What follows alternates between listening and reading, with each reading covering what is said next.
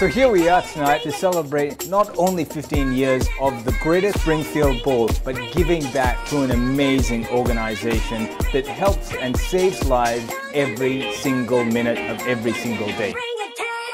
It's been wonderful to see people arrive, celebrate with some drinks, friends that we haven't seen for some time, enter this wonderful room full of bling and excitement, and now looking forward to raising funds for the Mater Foundation. My name is Mike Tyler, I'm a magician, and I'm here raising funds for the Mater Foundation. so as a magician tonight, I'm mingling around and adding a little bit of, uh, a little bit of magic, some laughter, some jokes, and uh, amazing people in there, making sure they're having a great time here. Yeah, I didn't. I'm adding a little bit of uh, amazement to the night. It's terrific to be here for the 15th annual Springfield Ball. Springfield Ball always has a great energy and tonight is no different. People are always very generous. Tonight's funds are being raised to support families here in Springfield to provide the very best maternal care as we open a maternity unit in the upcoming development. And so the real winner tonight is the community.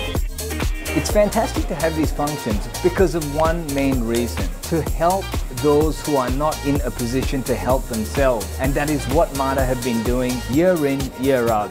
It's been a fantastic night, great energy, great entertainment, and as always, for a great cause.